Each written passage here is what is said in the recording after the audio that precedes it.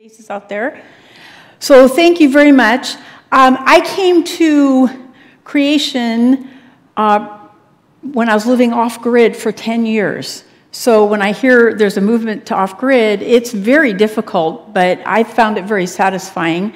Uh, but somebody that was helping us move had put a Bible in there. Now, I was raised in a religion where you weren't allowed to write, read a Bible. I thought it was written by one guy. I had no idea.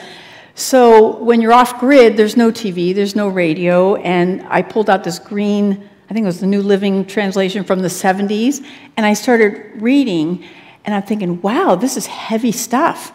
And when I got to Hagar, I hope I can say this without crying, but she said, I see the God who sees me. Now, when you're living off grid in the forest, you feel invisible nobody knows you. We'd moved up, we were a couple of kids moving up from California. But when I saw that he sees me, like even there, he became real in that moment. And Hagar was not a Christian, she was a Gentile um, that had been given to Abraham. And, and of course, then trouble arise, arose. But I just thought that's what I felt. My whole life was upended. I didn't grow up in a Christian family, so I understood that feeling of not belonging and kind of being out of sync. And, and he still saw her and he talked with her, and that was it. And I have not looked back since. So that's, that's you're going to see my passion because I'm still in that awe I, to think that he sees me in you and you and you and we feel like dots, right? We're, there's now 8 billion dots on this planet. And he sees every one of us, and he loves every one of us. Okay, so do the math. 3 plus 1 equals 4 question mark. That's a formula, and we're going to, at the end, we're going to finish that. The big question, were mathematics invented or discovered by man? And of course, you know, one side says that we invented it. But really, if we came from animals and you're going to see the math brains in the animal world, they already had it before we even came along. You know, that's an evolution. But to me, that proves that there had to be a mind that designed that in those creatures' brains. And you're to, we're going to be looking at the math brains of nature. If invented, then the language of the universe was created by humans. Imagine the language of the universe created by humans. And if discovered, we must acknowledge intelligence developed a language that we can understand because He is our Father. So we have the mind of Christ. We can understand the language of God. That's an incredible privilege. Okay, so when did our interest in math begin? Our world is made up, and this is from Marcus du Sautoy. He's um, Oxford, Oxford University um, mathematician. He actually created his own documentary, starred in it, because I guess if you write it, you get to star in it. Um, but it's fantastic. I hope you take the time to look at it. It's very, very interesting. Okay, our world is made up of patterns and sequences. One of the reasons mathematics began was because we needed to find a way to make sense of these natural patterns. And you see migration, we still see that, the phases of the moon, plants that bloom, and then they go to seed, and then they go to sleep during the winter and come back. So we see these patterns and sequences. We live on a duck pond, and right now migratory birds, um, we're in Lynden, so there's swans in the field, snow geese, um, every now and then we'll see um, a bird that is probably was blown off course. He's all by himself, um, and he's in with the mallards on the pond. But it's so cool because it's just a reminder that, of this movement on, in the natural world. Okay, the most basic concepts of math, space, and quantity are hardwired into our brains. Even animals have a sense of distance and number, assessing when their pack is outnumbered, whether to fight or fly, whether their prey is within striking distance, right? I didn't think about that, but he's right. That's Marcus du Sautoy. I really, um, I really enjoy his talks. So, where did math originate? The earth was without form and void, and darkness was upon the face of the deep, and the Spirit of God moved moved upon the face of the waters. Now, I'm going to put some of those words into the original Hebrew to show it's a little different. So, but right now we have water molecules without order, recognizable shape, or observability, right? That's what we have. So here's some of the words in the original Hebrew. The earth was confusion, a place of chaos and empty and dark obscurity was upon the surface of an abyss of surging water. There was movement, it was dynamic, surging water. So, since math is about patterns, sequences, and predictability, God used math to change that chaos into order, unknown into recognizable patterns, and obscurity into predictable sequence of evenings and mornings, time. And time is a measure of math. See that? Isn't that beautiful? He used the math he created to form our world. So, does God use math? I have an arrow on here, and I didn't know if you were seeing that arrow. I'm glad you're not. Okay. Does God use math?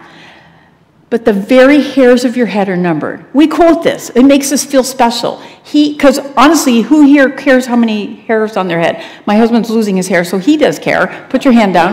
but, but most of us don't care. Does he, he, does he not see my ways and count all my steps? Now we have those little step counters. They want 10,000 steps a day, right? Yeah, we count them. But prior to that, before that was invented, he was counting our steps. Since his days are determined, the number of his months is with you. He actually counts the time we spend with him, the days we have on this earth to follow him. You number my wanderings. You put my tears into your bottle. This is so touching. That word wanderings means wandering as a vagabond, somebody that has, uh, you've left God. And he, that's the tears in the bottle, is when we were away from him. And of course, he's always pursuing to bring us back. Isn't that beautiful? There's, it's so touching when you go into, you find out really the context of some of these verses. Yet he has made with me an everlasting covenant, ordered in all things and sure. And that order means to set in a row and arrange. There's the math.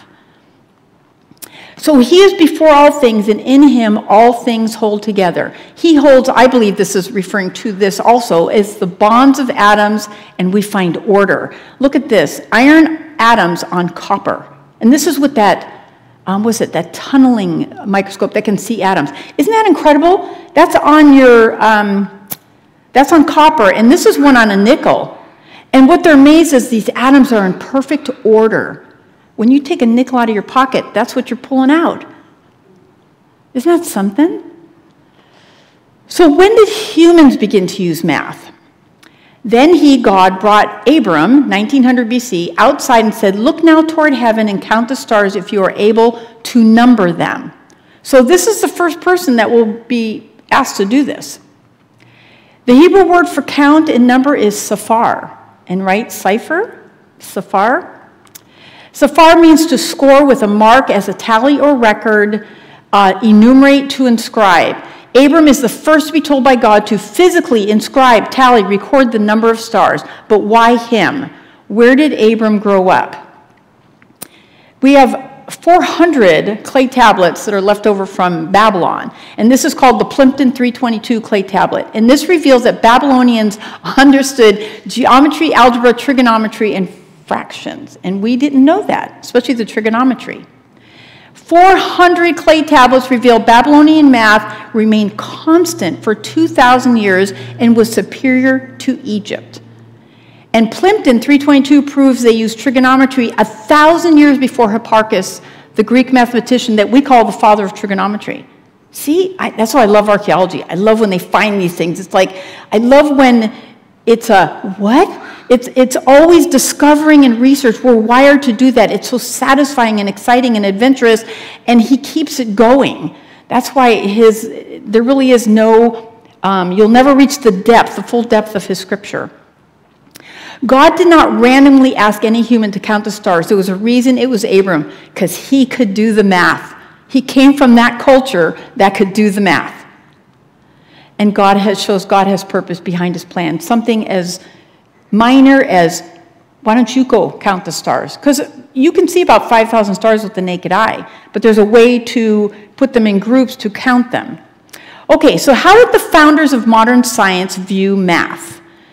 There is geometry in the humming of the strings, and this is Pythagoras, ratios for guitar frets. And if we've got musical, musically talented people here, then you understand this.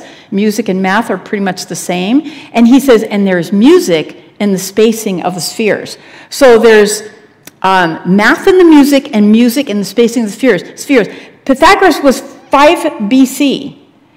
How could he have known? The telescope, telescope would not be invented for 2,000 years. How could he known there in, indeed is a mathematical pattern in our solar system for the spacing of the spheres? And here it is. It's Bode 1778. Bode published a three step mathematical formula for the distance of each planet from the sun. And Pythagoras knew. He, I believe he was uh, inspired by God. Here's um, Galileo. Mathematics is the language in which God has written the universe.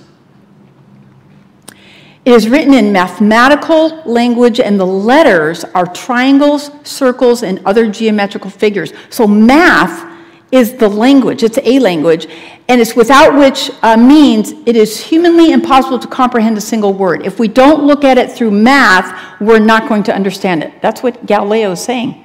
And we're going to look at this. You're going to be amazed how much math there is all around this. Where there is matter, there is geometry. This is Kepler.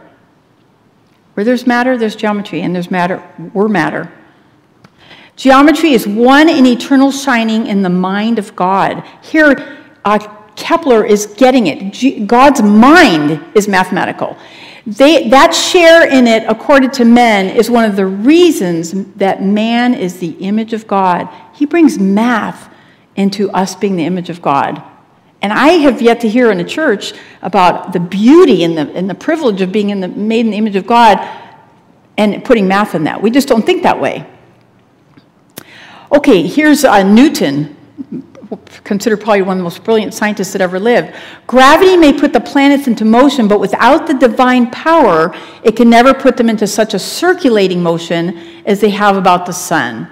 He developed calculus, apparently on his downtime and um, was a theory about light and was it let's see was it gravity i wrote some of these a law of gravity new a theory on light and calculus all variety of created objects which represent order and life in the universe could happen only by the willful reasoning of its original creator and again this is newton so, is there a connection between math and the arts? Do we have any musical, creative people? Okay, um, what's another um, art? So besides music, um, oh, basically art, um, drama. That's in the arts. Yeah, I, we got a teacher back there. Do you do drama for the kids?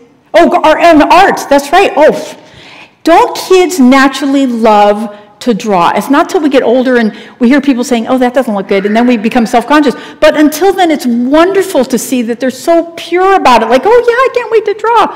I know. Then we get kind of Getting older can mess us up. But, anyways, hopefully they go back to that. So here's math and the arts. Here's Alfred Whitehead. He was an English mathematician in the um, late 1800s. He said, You may fly to poetry and music, and quantity and number will face you in your rhythms and your octaves. He's saying they're together, they're the same, they require each other. Here's uh, G.H. Hardy, A Mathematician's Apology. That's the name of his book. The mathematician's patterns like the painters or the poets, must be beautiful. He's saying there's got to be art in the math, which who of us think that? I remember sitting in math class thinking this is not pretty. I, I had to move from Massachusetts, which was in, um, they were doing classic math, and my dad was transferred to LA in the middle of seventh grade, and they had just started new math. So I might as well have landed on Mars. I had no idea what they were talking about. So yeah, there was nothing beautiful about that. But I appreciate what he's saying. The ideas, like the colors of the words, must fit together in a harmonious way. Again, seeing the art, the beauty, and math to, as together. Now, this is Bertrand Russell. He is a very famous um, atheist. He wrote a book, Why I Am Not a Christian. But listen, if you heard these words and not knowing who was saying them, wouldn't you think this was a Christian? The true spirit of delight, the exaltation, the sense of being more than man, which is the touchstone of the highest excellence, is to be found in mathematics as surely as in poetry. That would be somebody, sounds like they're praising God. And here it's just like a Balaam moment. He meant to curse, and out comes these beautiful words. This man, Robert Lawrence Kuhn, uh, simple abstract equations describe complex physical things beautifully and elegantly. Why should this be? He I've seen him on a, his show, And he, that's what he is. He's a, a questioning, intellectually curious person, and I appreciate that. He's, he considers himself an agnostic, but he, he searches, seeks, and asks questions. And to me, we should always remain intellectually curious. This is Marcus du Sautoy, who I was um, quoting in the beginning. He said, Rhythm depends on arithmetic. Harmony draws from basic numerical relationships, and the development of musical themes reflects in the world of symmetry and geometry. So again, art and math are, are, are intertwined. So does God use math's, math's music to inspire and instruct? And when we get to the math creatures that share our planet, you'll see how they respond to the math in music. We call it dancing, but they're actually responding to the beats, the measures, the tempo. It's very interesting. So, God, how does God use it? Remember, God um, sang a song to Moses and said, Now write this down and teach it to the children of Israel, put it in their mouths, that this song may be a witness for me against the children of Israel. And it was about how they were going to cheat on him, betray him, leave him. So, a very sad song. But God actually, I would love, I wish Moses had written what it was like to hear God sing. His voice is described as many waters, thunder. He sang the song and said, Tell them to put it in their mouths. Here's around Jericho. So the people shouted when the priests blew the trumpets. So music is part of their battles, their lives uh, going through um, the wilderness. King David, the shepherd king, was a type of Christ. His psalm songs still speak for us and for us, uh, for us and to us even today. And this is my favorite. when King Jehoshaphat had consulted with the people, he appointed those who should sing to the Lord and who should praise the beauty of holiness as they went out before the army. So imagine today if we had infantry and then the choir is in front of them and they're singing holiness to the Lord. And here they come. And what would the enemy think? Is first they hear this beautiful music and we're going to war? Like, did it change anything? Is that why it was done? Or was this to empower the army behind them? But he used the music. And then midnight, Paul and Silas were praying and singing hymns, and the other prisoners were listening to them. So God's music of math inspires, encourages, and strengthens us. He even used that for us. So, what did today's mathematicians say about math? Now, when I showed this to a group on the San Juan Islands, there was a lot of teenagers, and they immediately recognized Arthur Benjamin. He's called a mathemagician he gives them mathematical shortcuts that are like magic because they can do it in their head. So they were so excited. And I was so glad that there's somebody getting kids excited about any kind of learning.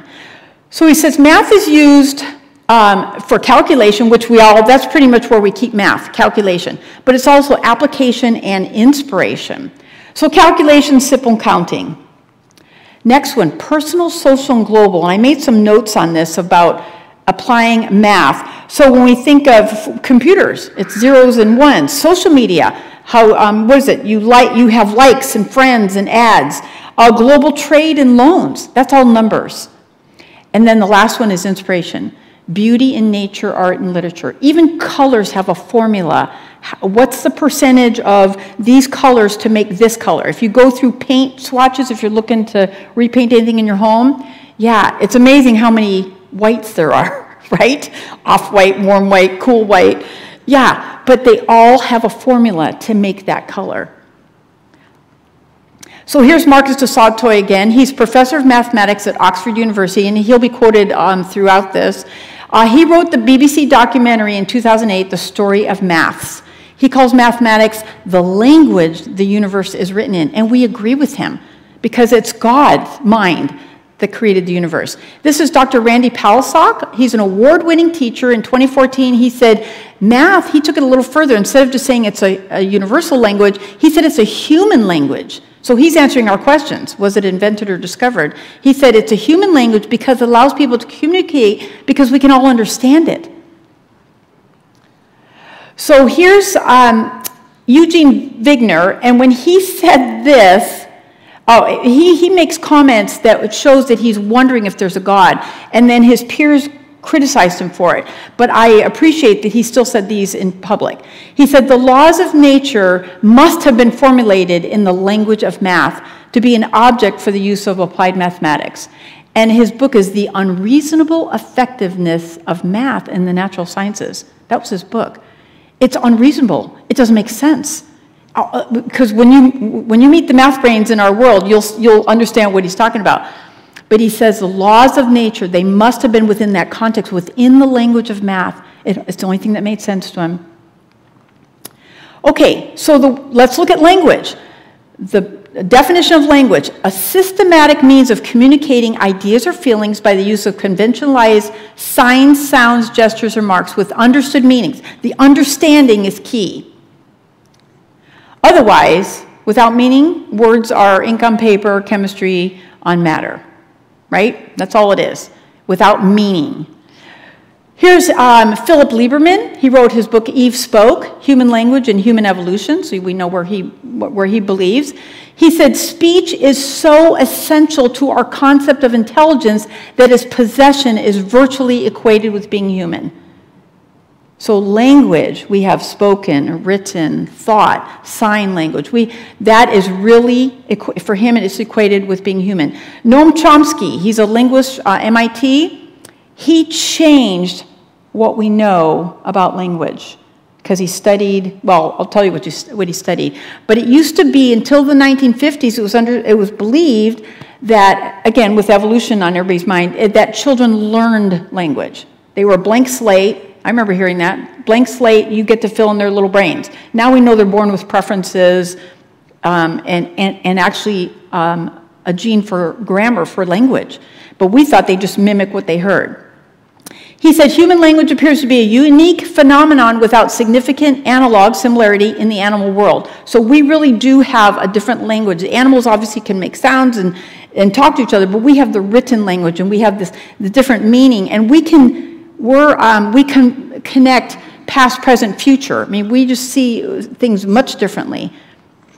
So this is, I think this picture is so cute. But this is what he said. The innate ability of children to acquire the grammar necessary for a language can be explained only if one assumes that all grammars are variations of a single generic universal grammar and that all human brains come with a built in language organ that contains this language blueprint, which of course means a designer had to put that in our brains. And this is how he, they, this is what settled it. In 1983, Nicaragua had a deaf school of 400 students who were unable to learn Spanish or lip reading right? And so if we just learn language by hearing it, this should have been it for them. They would just go through life with, with no ability to communicate. But instead, outside the classroom, they developed their own pidgin English or pidgin language of gestures and signs.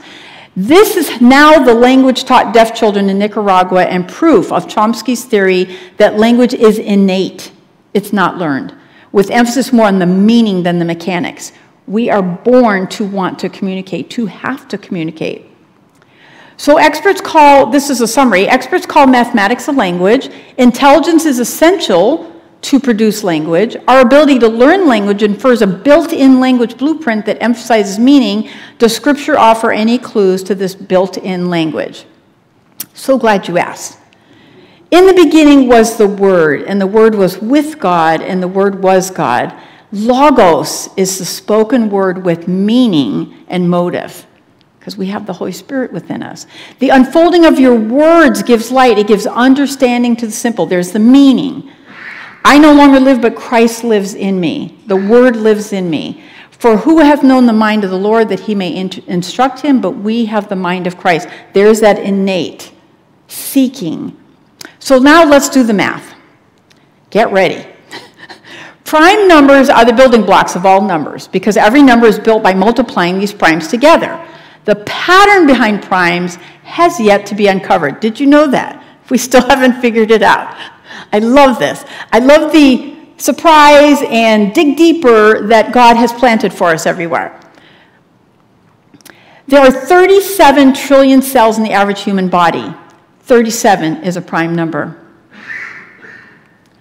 Italian mathematician developed a sequence known as the Fibonacci numbers. They appear in mathematics, computer algorithms, and nature. Each number is the sum of the two previous numbers. So you have 0 and 1 is 1, and then 1 and 1 is 2, and 2 and 1, 3. So we get how that works. Okay, and even in our, the bones in our hands, Oh, and Fibonacci, uh, Mozart used Fibonacci's sequence for one of his piano sonatas.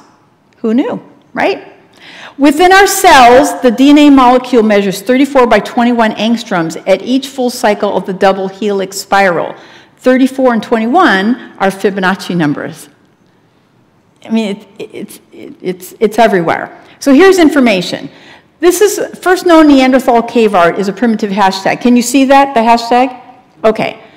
This is considered language, a word, by some primitive person. I would love to know, I mean, was it just kids dragging something through the rock? But anyways, it's now a place where people go to look at it.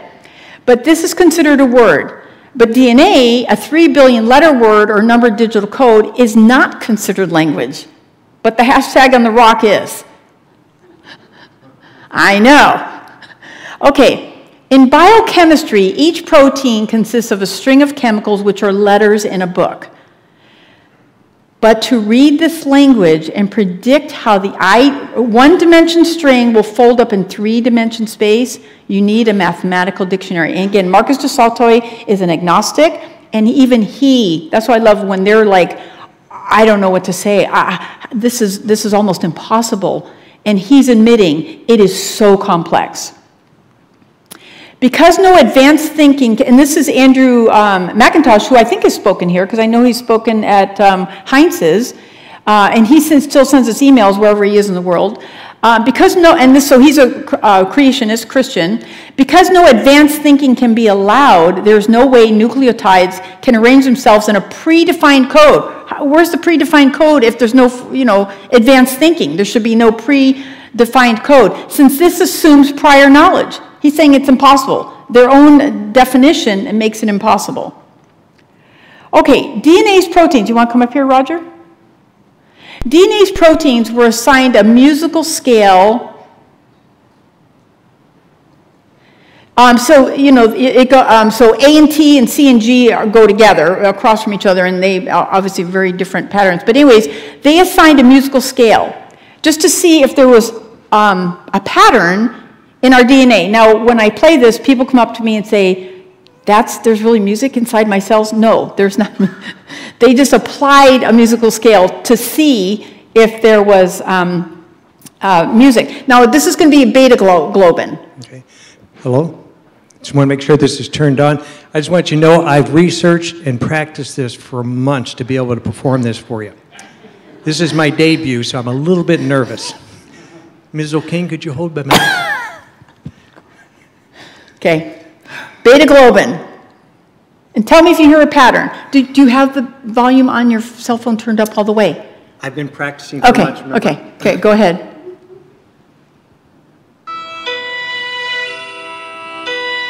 Do you hear a pattern? Does it sound like music? So they do have different notes and instruments for each part of those proteins. Okay, now I'm going to have you go to a corin. So here, go to. Oh, no, I didn't practice that. I know, here. I'll do it. Um, let's see, we go like this, and we go to. Um, here it is, right here. Okay, here's. Don't steal my thunder now. Okay, here's a different one. They put different instruments, different notes. Do you hear a pattern? Yeah. You can actually go to a website called Genetic Music. They explain it all. You can listen to all different things. They're all different. Thank you. Thank yeah. Isn't that amazing? So it shows that all of creation, including music and poetry, is built on mathematics, which applies to even the tiniest molecules. That is just so cool. All right, so let's get into life here. So this is Sir Fredward, Sir Fred Hoyle, astronomer, cosmologist, and mathematician from Cambridge. He said the likelihood of the formation of life from inanimate matter is one to a number with 40,000 zeros. That's a lot. It is big enough to bury Darwin and the whole theory of evolution. So we know he's on our side. Okay. But here's the other guy on the other side. But even he, it's called Haldane's uh, like dilemma, I think it's called. So British geneticist and atheist evolutionary biologist J.B.S. Haldane, so late 1800s, um, six, into the 1900s. He's on the evolution of humans. This was the formula he came up with. Of course, because it shows that it would be impossible, it actually proves our side. Um, there's a few scientists that have said they think he has it wrong. But you know, I think they said that anyway. So the number of genetic deaths needed to secure the substitution of one gene for another by natural selection. So substitution of gene is evolution. Um, by natural selection is in the region of 30 times the number of individuals in a generation. So he's giving a formula of how many people it would take to actually mutate from amoeba to monkey to man. And he said there would have to be 150 billion forerunners of the monkeys now man. There would have to be 150 billion of them to you know, have, continue having these mutations of modern man lived on Earth. Where is the evidence, the bone piles in fossils and tools for these vast numbers of primitive humans? This is why it's called the dilemma for evolutionists. So is the fading sun um, or the um, dim sun. So there's uh, something about the sun would have been 20% less bright, you know, when it was when Earth was forming and things couldn't grow. So there's just they admit that there's areas where they it doesn't make sense. All right, this is evolutionist Stephen Jay Gould. He said that even if evolutionary history on Earth repeated itself a million times, he doubts anything like Homo sapiens would ever develop again he concludes that humans are a glorious evolutionary accident. How could it be glorious and accident in the same sentence? I don't get that. Um, which required 60 trillion contingent events. So even he's saying it's impossible. And, and I love when they get that because you know God is working on their hearts too and their minds. And he's like, man, this would never happen again. It's a, it's a one in a, well, it's a one in ever. And he's right. God made humans. That's right. He's, he's headed to the right way. All right, here's chemistry. Russian chemist uh, Dmitry Mendeleev used mathematical patterns he discovered in the chemical elements to create the periodic table. He's actually the one that made that, the ones that we dreaded memorizing in school, right? That we had to memorize that periodic table. And it has grown since I, since I was in school. Like, how many more things can they add? So, this is what's beautiful. He was raised a Christian, lived in Siberia, his father died when he was 13. His mom now has him, and she recognized that he was very gifted intellectually. So she moved him to Moscow uh, so he could go to school. While he's in school, his mother dies. So he just stayed faithful to the Lord, and in a dream, he saw the elements lining up, and he got up and wrote it. And his genius is seen in the fact that he left blanks for future elements to be discovered. That's, I mean, that's a gift from God.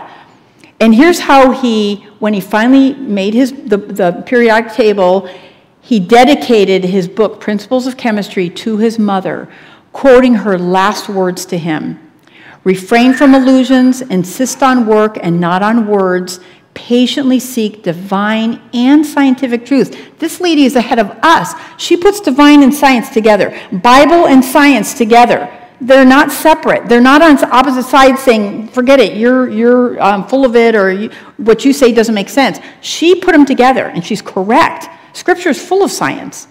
In fact, when, you, when we meet somebody that doesn't believe, we start with the science, because you know they believe in science. To start with God, that they've already made a decision doesn't exist, um, yeah, it's just going to be kind of a round and circular um, conversation. But we start with the science and say, you know, they had no telescopes or satellites back then, and uh, how would they have known this? How do you think they would know it? It just opens up the conversation. Okay, plants. Okay, here's the golden ratio. So we got fiddleheads for the ferns, we got a succulent, pine cone, cabbage, and sunflower. And we talked about the Fibonacci number. So now we're going to get into the golden ratio. So as plants grow, the leaves average 222.5 or 137.5 degrees from the previous leaf, which maximizes space and light for each. Spiral pattern allows for center of gravity to remain constant.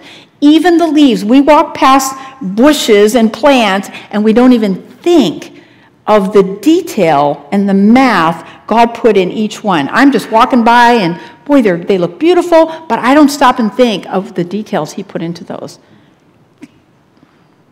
Okay, I love carnivorous plants. So my husband has, um, when people come to our house, we just have carnivorous plants as houseplants.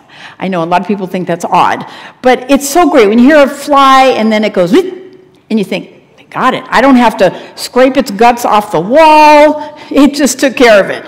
So, so Venus flytraps I absolutely love. So the Venus flytrap, can you see, right? See where the, it's, the bottom part is. See the little tiny hairs sticking up, not the, what looks like teeth sticking down, but see those, they're kind of lighter colored? Those are hairs that have a built-in timer for 20 seconds. Not 18, not 22, 20. And of course, they still don't know how that is. Why does this, how did this plant evolve a 20 second timer? And why is the one that evolved a 20 second timer and this one over here, or that didn't even exist where this one was, why didn't it evolve a five second timer? Like, it's 20 seconds. Okay, so what happens? Insect touches hair number one. The 20 second timer starts, starts. It's, it's begun. A second hair has to be touched within the 20 seconds and the trap will close because it has to eat a live insect. And a live insect will touch the two hairs because it's still moving. But if you put something dead in there, it's not going to touch that second hair. So then, as the insect starts struggling, um, then the digestive enzymes are released. I know it sounds gory, but I, like I said, I love it because I don't have to mess with the fly.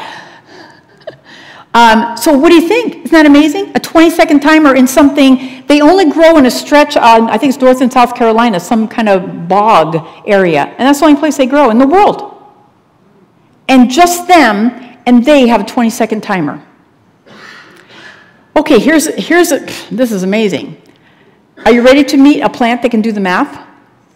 Brainless plant can do the math. I now have no excuse if I say, oh yeah, I just don't have a math brain, you know. No, uh, the plant has a math brain. That means we humans all have a math brain.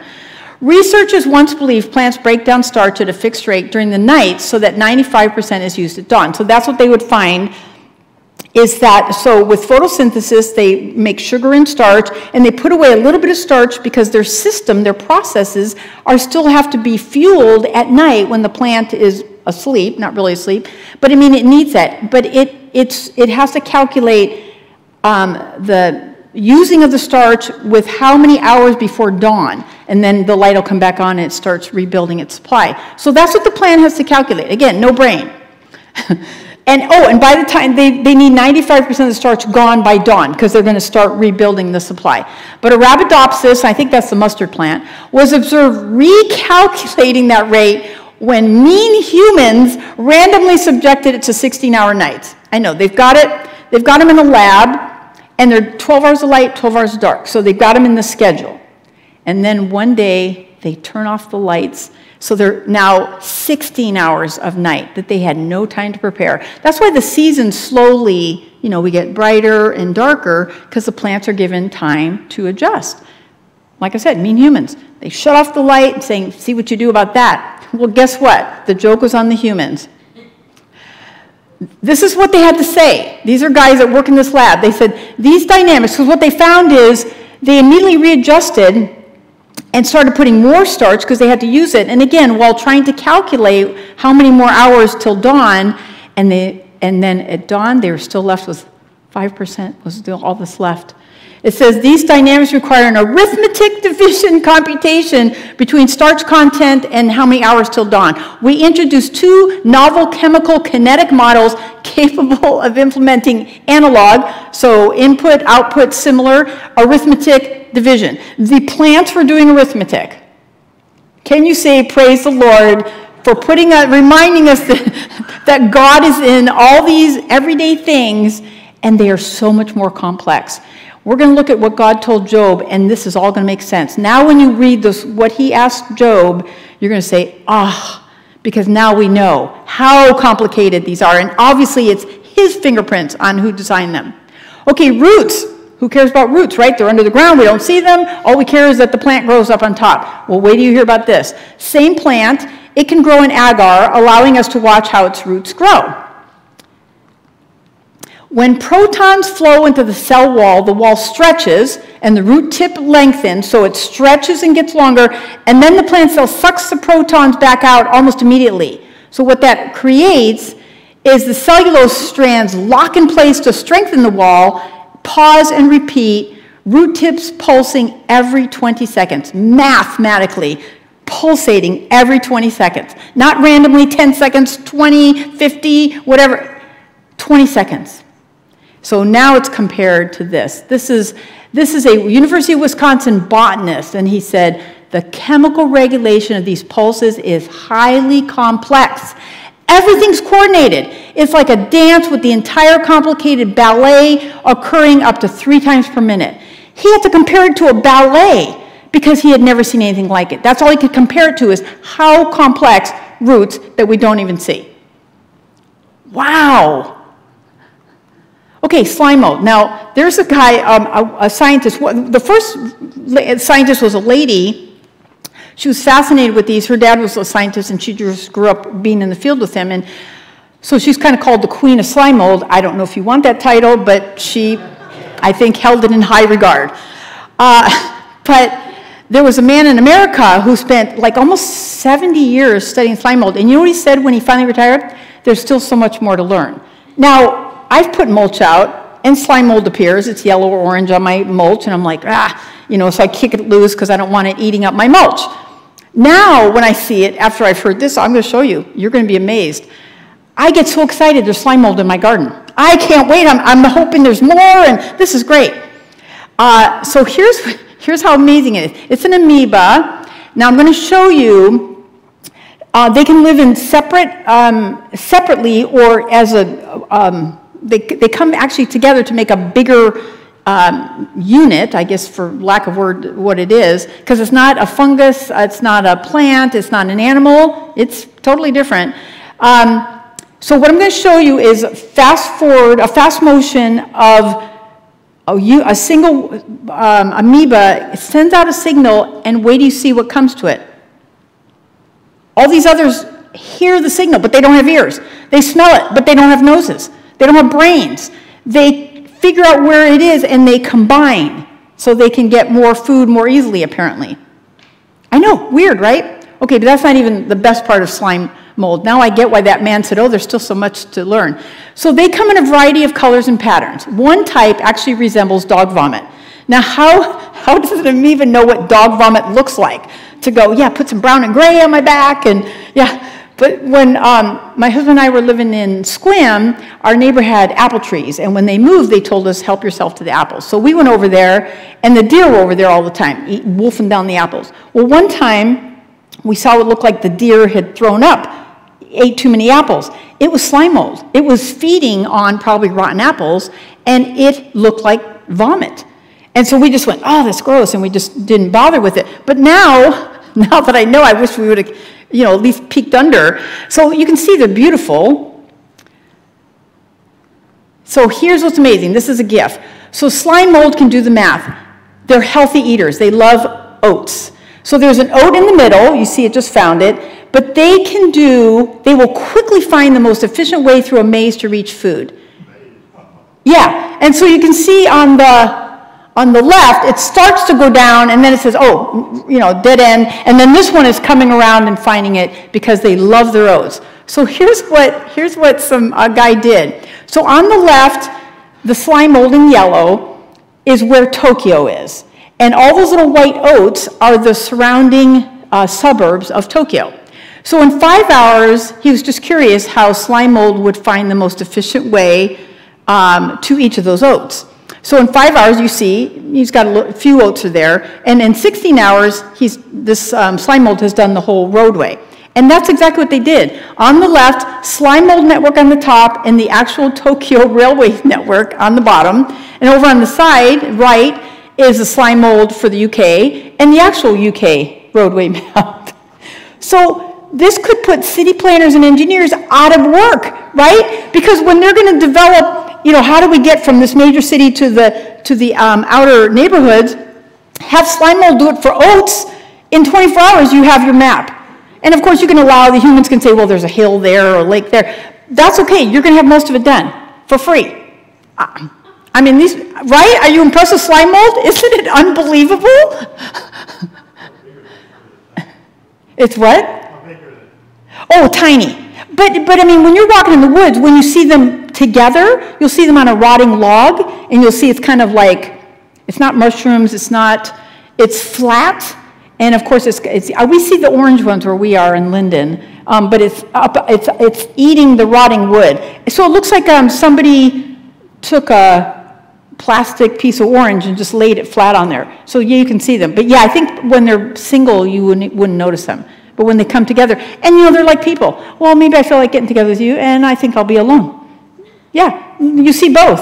I know, I love that. Like I said, now I get why that guy was so fascinated with slime mold and why that woman said, call me queen of slime mold. Where, where do you get to, where do you find out about this thing? Okay, so here's the commentary from uh, Live Science Magazine about slime mold doing roadway, um, uh, roadway engineering. The work provides a fascinating and convincing example that biologically inspired pure mathematical models, that's what they're now calling slime mold. So forget slime mold doesn't do it justice. Biologically inspired pure mathematical models, that makes them sound so much better, can lead to completely new, highly efficient algorithms able to provide technical systems with essential features of living systems. It says slime mold beats humans at perfecting traffic network and they have no brain, and they're ahead of us. I mean, yeah. So see, I, I hope you're as fascinated with slime mold as I am. Okay, let's go to insects. From a mathematical and engineering perspective, hexagons are one of the best shapes for construction. So this is, um, this is an entomologist. So we're going to look through, I think it's called an electron microscope. These are butterfly eggs. So look at the detail of, and a lot of times these are, um, the butterflies lay them under leaves. And remember how we're just passing by the bushes, not thinking of their mathematical formula for their leaves, but we don't even see these. These are often tucked. So even things we typically won't see, look at the beauty and detail God puts in this. Here's another group, another, and another. Just butterfly eggs. And look at what he put into it. He didn't have to put the beauty in there the patterns. It's just beautiful. The one on the top right looks like chocolate, um, like eh, something at a, like at a wedding, chocolate with little cream on the top. Oh, man. All right.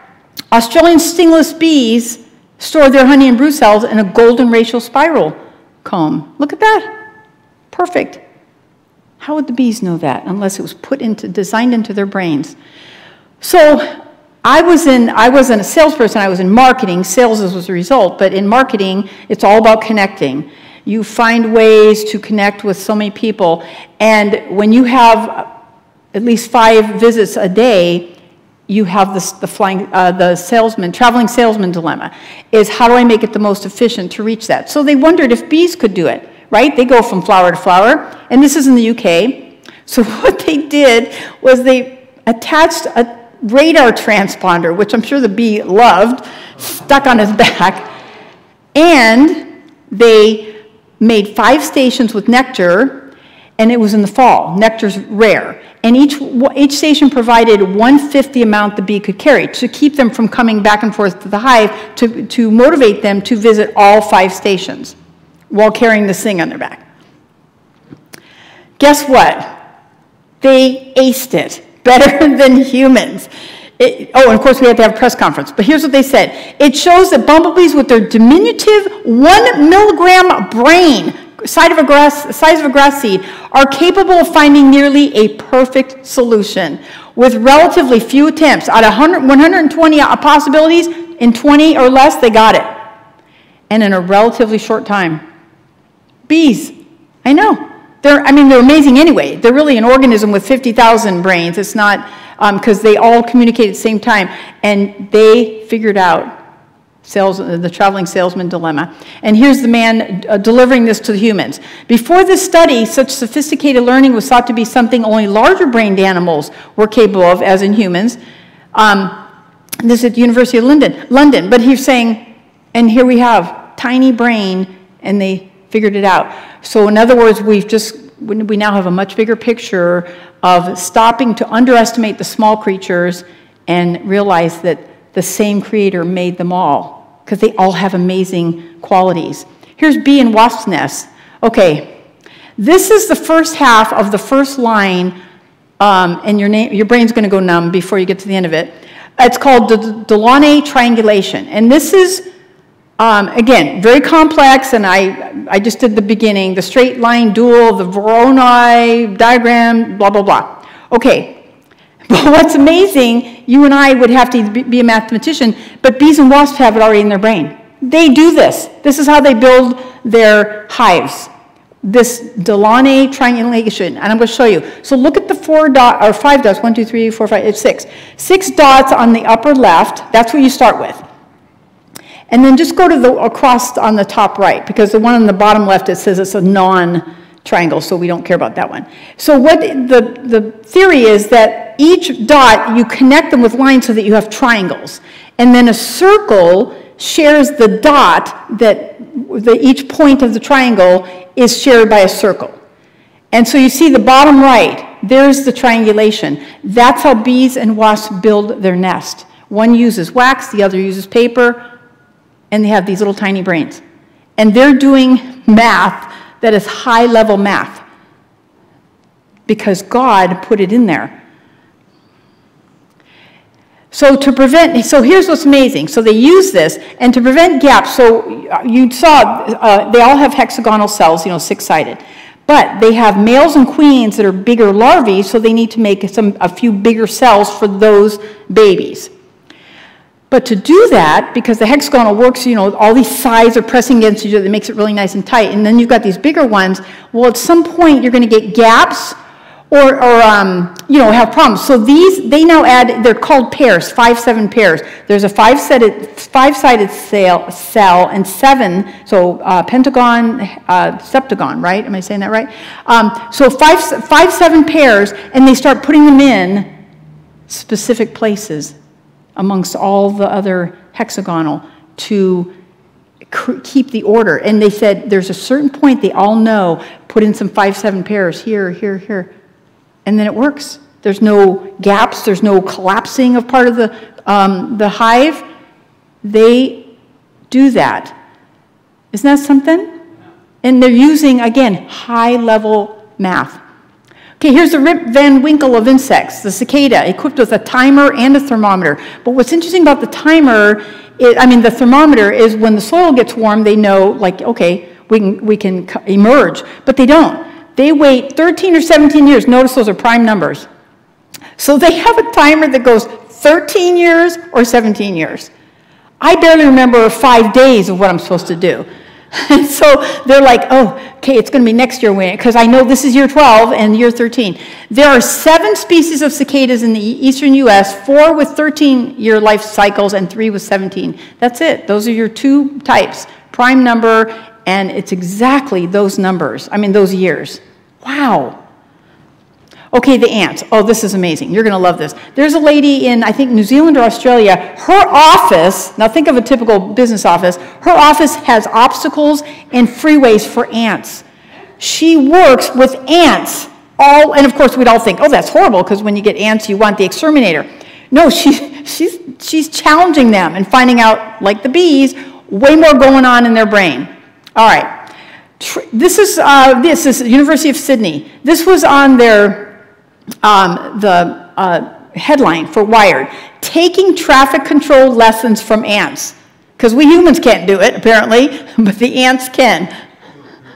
Okay, so here's, here's, a, here's an example from her office.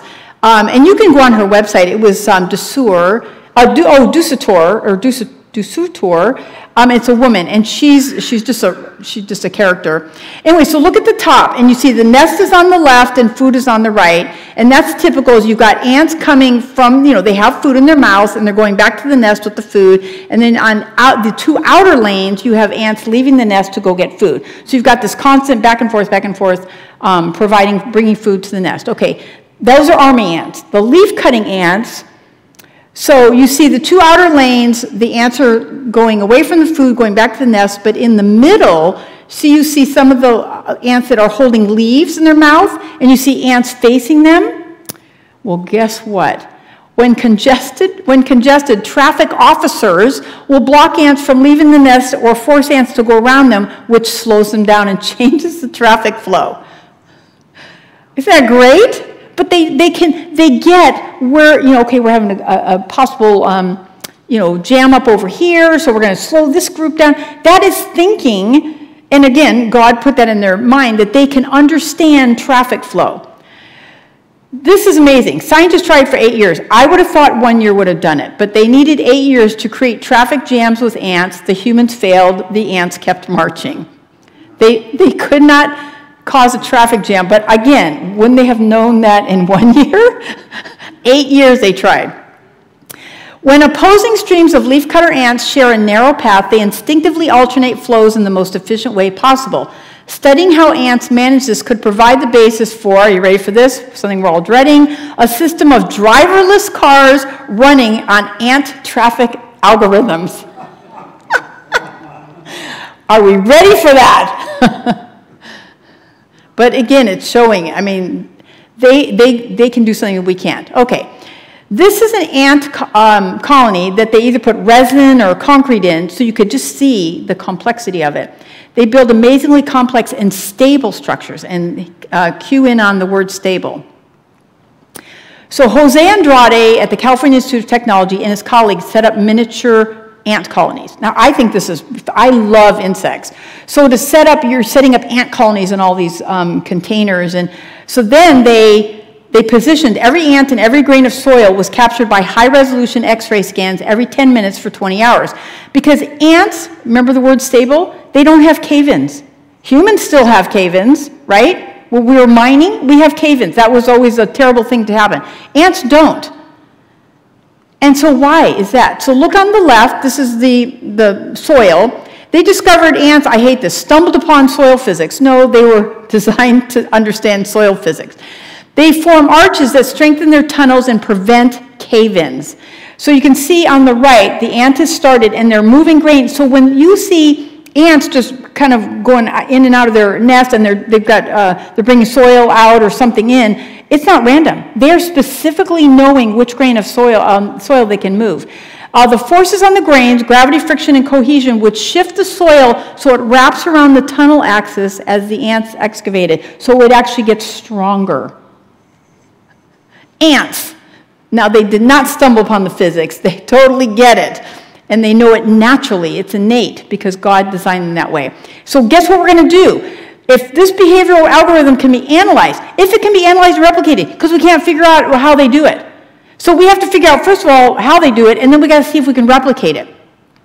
It might find application in mining robots on Earth or in other planets. So they want to put it in human machines because it's beyond human thinking. The ants haven't figured out, oh my word, how can we replicate it? So this is what's beautiful. It's called um, biomimetics. We're starting to see that God's nature was way ahead of ours. And we're trying to recreate what God has done. Okay, here's locusts. So this is King Solomon. The locusts have no king, yet they go forth, all of them by bands. And that word bands in Hebrew is army ranks. So that's what it says in Scripture. The locusts have no king, yet they go forth, all of them by, by army ranks. I'm going to show you a leading researcher of locusts, and he almost repeats that word for word. He too saw the same thing King Solomon said. All right, so a lot of us think locusts are a totally different species. They're actually not. Your green, long legged, weak flying, solitary desert locusts go through a change, and it has to do with hormones. And their legs get shorter, their wings get stronger, their color changes to black and yellow, and they swarm instead of being solitary. It actually transitions into a locust. So here they are. Crowds of gregarious locusts will suddenly decide to march but and here's and I'm quoting the uh, researcher. But they do so without leaders. These aggregations form marching bands. And so you can see them all going the same way. And I'm going to show you his. Um, I'll show you his picture. Uh, I read. I grew up on National Geographic. I still we still read science journals. Um, but he, this young man said to study locusts, and I'm going to tell you why he studied them he brought 20,000 of them into his lab. So, of course, all his coworkers had to wear giant goggles, something across their mouth, and look like hazard suits because locusts are flying through the air. And when the reporter went to do a story, the first thing that happened is a locust smashed itself into his goggle. Can you imagine? You walk in, and so, yeah, so it gets better. All right, so he, this was Red Orbit online.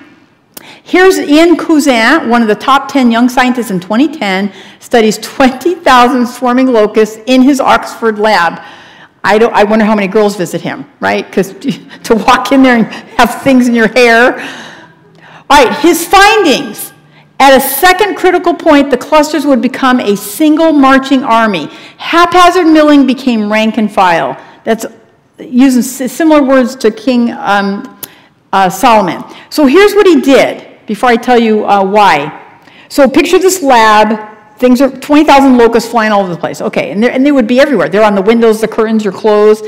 He, every morning, uh, there was like a picture of a NASCAR oval racetrack.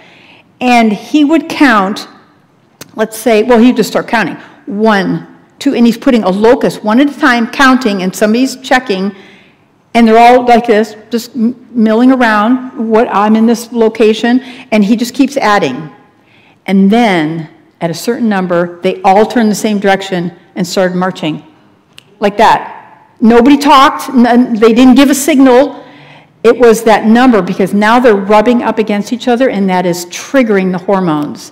And they all start marching because at the end of the day, when they were counting, you know, taking them out, there were always a few missing. Because if you're not walking in step, you get eaten. While they're marching,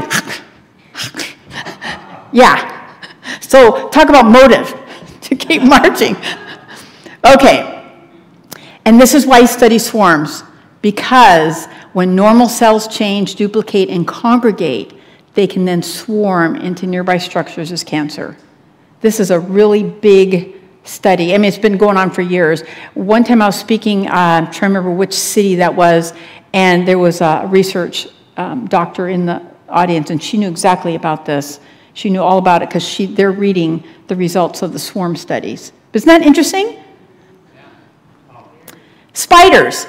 This is Darwin's bark spider. It is the size of your thumbnail. Size of your thumbnail. Now, for those of you who have worked at, for uh, construction companies that do dirt work or own construction companies, you're going to be amazed. You're going to think, why didn't we hire this guy? Okay, he was discovered in 2009. We didn't even know it existed. It builds the largest orb web in the world up to 30 square feet. Remember, it's this size, and it has material in that little body to build a 30 square foot web. And that web is 10 times stronger than Kevlar. Now, Roger was a cop, and he wore Kevlar vests. And to think it was 10 times stronger, like, why wasn't he wearing that? Right? why didn't they buy us that? That would have been better. Okay, this tiny spider will cast an anchor line over 80 feet long across rivers and lakes. It gauges distance and material needed.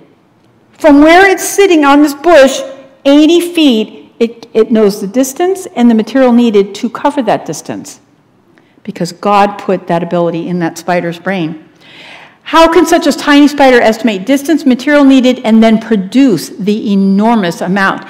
And we watched uh, a BBC documentary on this, and so it shows the spider, and she's doing this, and she's, oh, and they crimp it to keep it, you know, not, instead of flying all over the place. And so what it does is the, the current carries it across this river, and then on the other side, you know, it'll stick to another tree or something over there. Well, there was another bark spider over there, and he's like, oh, somebody's got their web coming to my tree. So, so once her, the first one, I'll put, this one's a she, this will be a he to follow it. Anyways, her web sticks, so he comes running over, like, I'm going to take over. And she can feel that he's on her web. So she comes out, and I'm thinking, oh my word, we're going to see a spider fight. That, that tiny. no, you know what she did? Man, this was great. I, I told Roger, I'm going to remember this. She came out there and she stared at him, and he stared at her, and then she cut the web, and he went fling down to the river. so it was like, that was even better than fighting him, just, you're done. And so then, so then she has to climb back up her web because her, her, her part swung too, but she knew, she knew the distance. So she climbs back up. Now she's eating all the web over that. It was 100 feet. She's eating it. And then she pauses for a second and then looks back and sends out the next one because she knows he's in the river, so she doesn't have to worry. Isn't that something? I know. And remember, King Solomon said about the spider takes hold with her hands. This spider, as the spider sends out liquid web, it takes hold with her hands to crimp the lines. And you see it every few seconds, she's crimping it, crimping it. And so it's crimped. The, the, it's, you see the, jet string, the jets coming out. So there's several, and then she crimps it so it keeps it together so it goes in one direction. I know. And look at the, here's a guy looking at one of those. They're found around the world from villages to king's palaces. Before, okay, now again, here's our, here's our press conference on this. Before spider silks can be subject to genetic engineering for commercial applications, we're going to try to figure out how we can make it.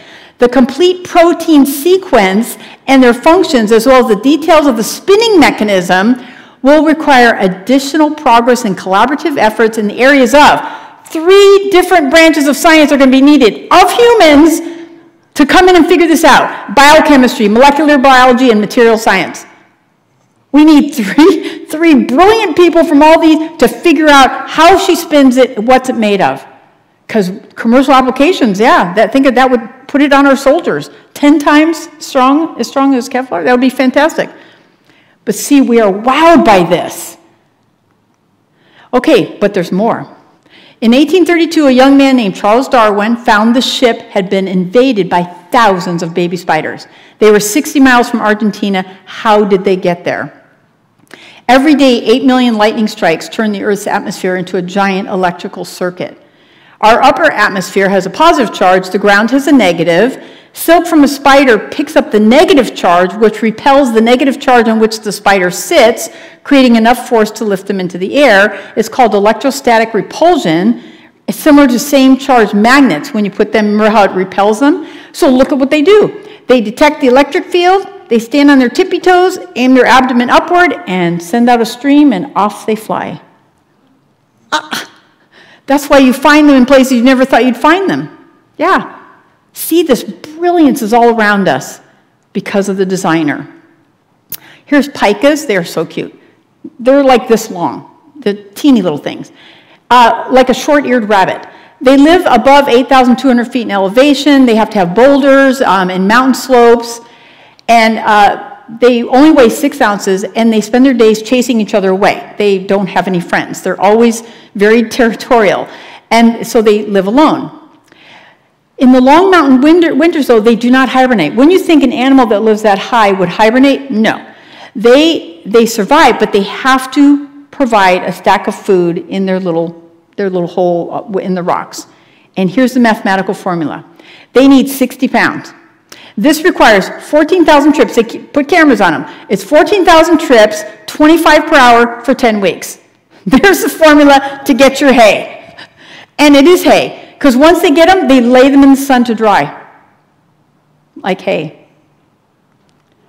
During the rain, yeah, they go out and move it, and then they bring it back when it's, but yeah, it's called haying. If for those of you who've lived on a farm, you know about bringing in the hay. Yeah, well, these guys do it, but they, it's 60 pounds. That gets me through the winter. Doing the math. Okay, here's birds. We all know what this is, right? Starlings, murmuration. Now look how the two separated, and now they can actually go through each other, and the birds stay like within their group. Look at this. Ah, you'd think there'd be birds falling down. Nope, they do this. This is what's amazing. Giorgio Parisi, he's a theoretical physicist with the University of Rome. He led a research team to study starlings. And don't you love that murmuration looks like a bird? Findings were published in Proceedings of the National Academy of Sciences in 2010. So this was a big deal. He said one bird's movement only affects its seven closest neighbors. Why seven? And this was his answer. It's just one of those numbers that works in nature. Well, we know why. God loves the number seven. I just thought that was great, though. Each starling just pays attention to the seven nearest neighbors. A signal, now this is amazing, a signal from a single individual can cross a 100 wide, 100 yard wide flock in a fraction of a second with virtually no distortion or diminution. So a signal from a bird ripples through as strongly as it started. It's, and they don't know how. The closest thing they can get to, the closest fit for this behavior comes from the physics of magnetism and describes how the electron spins of particles align with their neighbors as metals become magnetized. Starling flocks behave like flying magnets. This is what, here's the commentary on it. To achieve their extraordinary coordination, starling flocks in flight behave mathematically like magnetized metals. Their formations don't just transcend biology, but span multiple, multiple physical phenomena. I mean, this is God's fingerprints on this, and they can't see it. I mean, birds, and of course, starlings. I mean, they're invasive, they're annoying, they're, they're always trying to nest on our roof, and we got to run up there and put mesh, to, and then they they're mad at us. But I mean, and here they're brilliant.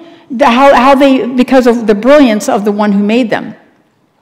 Okay, I love this. There's a new mathlete in town. So whenever you have somebody saying about, yeah, we're related to primates, um, sometimes they say it's because their eyes are in the front. Well, so are kinkajous and kittens and what's another animal? It has, you know, I don't hear about that, that we're related to kinkajous. Um, and then they also say, oh, because of they, they're smart, they can um, do these math tests. And then there was another thing, oh, and we share so much DNA with them. Well, it used to be like what 95% 97% they, we shared dna with um, the primates. I think it's been knocked down to 70% but they don't tell you the next two animals are cows and mice. You know the next in number. Like and not far, far behind that number of sharing don, uh, dna is cows and then mice. So when they say that i'll say oh yeah and, and you know the 87% is with cows. I always just to see what they'll say like cows. I go, well, I mean, doesn't it make as much sense as a monkey or an ape? So this is what's great. The researchers who did tested pigeons' ability to do math. They sent it to the primate researcher in the U.S. saying, "Here's the parameters. Here's the double blind. This is did we do this correctly? Um, these are the results we got." And she said, "Oh, you must be testing primates." They didn't tell her it was pigeons because they thought she'd have a bias. So then they told her, "No, it was actually pigeons." So pigeons and primates are equally smart. So how smart are the primates, right? I mean, it kind of knocked them down. And so it says there's a new mathlete in town. This is in New Zealand. Pigeons have shown they can learn abstract rules about numbers and ability that had only been demonstrated in primates. I love that how God puts in, it's almost like humorous. Yeah, I'm going to throw pigeons. I mean, nobody thinks about pigeons. Uh, yeah, have them be just as smart as the primates. Chimps and pigeons both scored 75% accuracy. And what they're doing, I want to show you what they're. So the pigeon has to be able to count. They have to peck at the, uh, the group of objects that are less. Less is first and then more. That's how you start. And so they have to recognize what is less objects, what is more. And they did it. They had no problem, just like the chimps. Okay, reptiles. How do sea turtles find the exact beach where they were born? Scientists have known that turtles, like many animals, navigate at sea by sensing the invisible lines of the magnetic field, but they didn't know how they were able to return to the spot where they were born. So, two hatchlings who'd never been in the ocean were brought to opposite sides of the Atlantic. So, was, I think it was North Africa and Florida, maybe. And they were brought to opposite sides, same latitude, but different longitudes, right? One headed southwest and one headed northeast. The results demonstrate that turtles use a kind of bicoordinate magnetic map in position finding, an ability that has long been hypothesized to exist but never before demonstrated. The precise way in which turtles' magnetic map is organized is not yet known. We have a lot of those, right? Huh, how do we mimic the spider silk? And yeah, which I'm glad. I'm glad we're in awe. Okay, mammals. Here's your uh, connecting opposite corners of squares, the logarithmic sp spiral called the golden ratio. It goes wider by 1.6 pi for each quarter turn. So here we've got We've got an ibex on the right, bighorn sheep on the left. The equiangular spiral growth never changes its basic shape, keeps the center of gravity constant. I'm sorry, the ibex on the right, I would think major headaches. But it, you know, and these things run up rocks with that balance, that bouncing, you know, of that kind of, of horns. Here's Mr. Pennings, a mathematician and professor of calculus, and here's Elvis, the demonstrator of calculus. You're going to look at your dogs differently after you see what Elvis can do, because apparently all dogs can do this. Did you know dogs know calculus? Right? I, our daughter is a math brain, so when she would do calculus, it was all these pages, and I'm thinking, how do you know? And she goes, oh, I love it. You just kind of keep following it. She loved it. But our dogs didn't show any interest in it, and now I know. We should, Roger, we should have been telling them. Okay, Mr. Pennings observed and measured hundreds of ball retrievals by Elvis to prove he had an innate, innate ability for minimizing the time of travel to a target, and I'm going to show you how he had the diagram. Uh, but Elvis had to figure out his to minimize. He has ocean or beach. So the ocean he's got to swim, which is going to take a lot more time, and beach he could run faster. And it would require traversing these different mediums at different speeds because he had to figure out how to get to the ball fastest.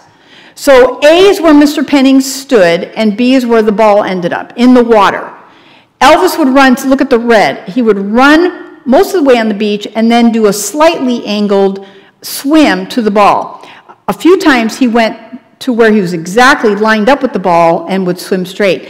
And his timing was always fastest when he did the red line, which is calculus. I know. Like I said, I, I had to tell my dogs, well, I'm expecting a lot more from you now. now that we know you can do calculus. All right, look at this. A pianist plays for elephants. Are they moving to the music or the math? And we know they're moving to the math. Look at, I love this. That girl is not afraid to swing her rear end and dance to that music. So even toddlers, have we all seen a toddler get excited when they hear the music and start? Yeah, from toddlers to elephants, we move to the music of the math. If anybody's been around cows, I've lived on two cattle ranches, Roger's worked on one. Cows have a mild curiosity about you, but they're not fascinated, which I don't blame them. We're not fascinated with each other either, so why would they be? But when you play music, they actually line up, and with some uh, videos, you'll see they come running. And they're just like, notice none of them are eating grass. Typically, when they come over to look at you, they kind of look and then they start eating. These guys are watching them. They, love, music speaks to the animals. And of course, music is math. Juno the beluga, when the guy would show up at the mariachi music, would sink down and just loved it. So now we're in space. This is Bertrand Russell, that atheist. Um, he said, physics is mathematical not because we know so much about the physical world, but because we know so little. It is only in its mathematical properties that we can discover. So it's the math that we can see physics. And it's when we talk about a fine tuned universe, it's because of the math. So, this, uh, with the James Webb telescope, this is something that they saw and they don't know what it is. They call it WR for Wolf Rayet um, type of star. I love how they describe it. It says they live fast and die hard. Now, doesn't that sound like a description of some guy you knew that was, you know, never settled down? Yeah, he said, live, live fast and die hard. And isn't there a series of movies called Die Hard about some macho guy? Okay, yeah. Okay, well, apparently these stars are like that. Yeah. Um, so, so the scientists for the European Space Agency and the others that were looking at this, they observed 17, see those, those circles? 17 three-dimensional geometric, they called them nesting shells because they were, you know, but, but part of them are square. They're like square and round, and they're squishy. And they said because it's 3D, they have to use a geometry model. So here he is. Here's the, here's the scientist trying to figure what this, is, what this is. He said it reveals squarish, equidistant ripples surrounding the star, something European Space Agency science advisor Mark McCaughrean described as bonkers. He's like, this is bonkers. And this is what he said. He said, for coming up with an explanation of the shells, he goes, it's not immediately obvious to me. Because if it's bonkers, right? I mean, there's no logic. I love that. Not immediately obvious. So if gravity was stronger by a fraction of a percent, atoms would pull together into one ball. And if gravity was weaker, the expanding universe would have distributed atoms so widely they could not have gathered into stars and galaxies. So here's our fine tuned universe. Ratio of electron to proton mass is 1, 1 to 1836. The mass of a proton is exactly 1,836 times the mass of the electron. If this ratio were smaller or larger, molecules could not form, including DNA, the blueprint for life. That's how fine-tuned, when they talk about it, that's how it's right on the edge. If the speed of light varied slightly, it would change the other constants and prohibit life on Earth. And this is our universe in X-rays. Isn't that gorgeous? What is obvious? Even though he said it wasn't obvious, to us, what's obvious is our universe is fine tuned for life. All right, so the big question was math invented or discovered? The big answer both evolutionists and creationists believe plants, birds, and mammals existed before humans. Since these organisms demonstrate an innate ability for math, math must have been discovered, not invented by humans, because we weren't even there in the evolution model. We weren't there when they were having mutations and making their way to making us. And if discovered, both sides believe intelligence is required for this universal language. So when Job questioned God, God pointed to his creation for the answer. He didn't make it a straightforward answer. He pointed to his creation. Were you there? Where were you? What would he learn? But now ask the beasts, and they will teach you, and the birds of the air, and they will tell you. Because I've been tell- showing you what they have been teaching us about God, the designer. Or speak to the earth. Think of the insects, the plants, right? We've looked at all those, and it will teach you. The fish of the sea will explain to you. Who among all these does not know that the hand of the Lord has done this? It's the only explanation that makes sense. In whose hand is the life of every living thing and the breath of all mankind? Now, further on, he says, Do you know the time when the wild mountain goats bear young? Or can you mark when the deer gives birth? Can you number the months um, they fulfill? Let's see. I had little notes here. All right, here we go. So this, okay, so this is time, and time is a measurement of math. So when we look at it through the mathematical filter, he's asking this about do you know the time when they bear young, uh, how long they're carrying, the number of months they fulfill. Okay, then we go to the horse. Have you given the horse strength? Have you given it? I gave the horse strength. Have you given the horse strength? He paws in the valley and rejoices in his strength. He gallops into the clash of arms. He devours the distance with fierceness and rage. So here is speed and strength, both measurements of math. And the last one Does the eagle soar at your command and build its nest on high? It dwells on a cliff and stays there at night. From there it looks for food. Its eyes detect it from afar. They can see a rabbit two miles away which would be like us standing on a 10 story building and seeing an ant on the sidewalk below, which we couldn't. And he's saying, so here is distance and height, all measurements of math. So when God asked Job, pointed to creation, isn't it obvious to you who has created these, what they can do? And Job got it. I have heard of you by the hearing of the ear, but now my eye sees you. I see your works in your creation.